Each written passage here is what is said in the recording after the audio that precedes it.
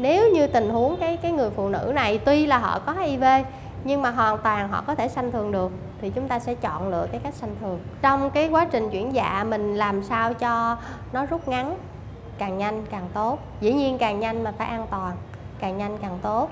Và khi sanh thì thường có những tình huống mà mình phải can thiệp rất là nhiều, mình phải giúp sanh à, hoặc là mình phải à, ta gọi là từ chuyên môn là cắt tầng sinh môn có nghĩa là mình sẽ cắt một tí xíu ở phía dưới cái vùng kính của người phụ nữ để nhằm mở rộng cái đường cho em bé đi ra.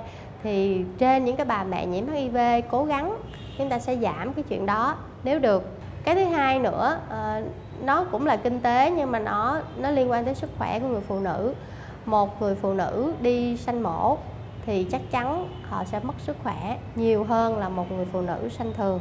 Thường là sau khi mà bệnh nhân xuất viện từ cái đơn vị sản thì bệnh nhân sẽ được chuyển sang à, các đơn vị kế tiếp.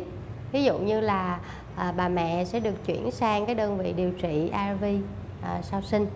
À, và em bé thì sẽ được chuyển sang nhi đồng à, để chăm sóc.